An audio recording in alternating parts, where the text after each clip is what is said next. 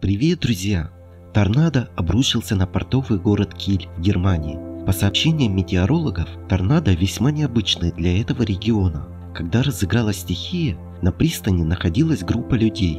Несколько человек в итоге снесло мощными порывами ветра в воду.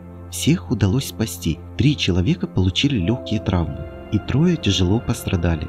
В результате торнадо, обрушившегося на федеральную землю Шлейсвиг-Гольштейн, была уничтожена часть имущества граждан.